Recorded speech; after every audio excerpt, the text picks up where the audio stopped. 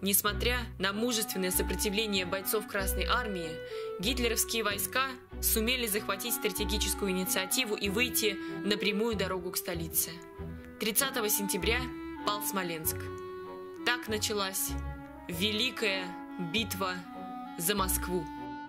Среди тех, кто принял первый удар на себя, была 8-я Московская стрелковая дивизия Народного ополчения, в которую входили студенты, сотрудники и преподаватели Московского университета.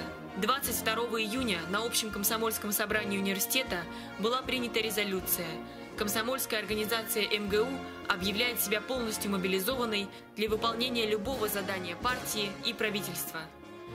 Первая немецкая колонна шла шагом, вторая бежала, а третья неслась, что есть духу, боясь быть отрезанной нашими частями.